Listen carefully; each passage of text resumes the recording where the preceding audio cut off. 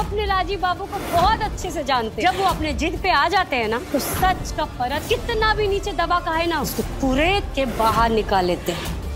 हमें पता चल गया अंसिनी कि तुम ही हो।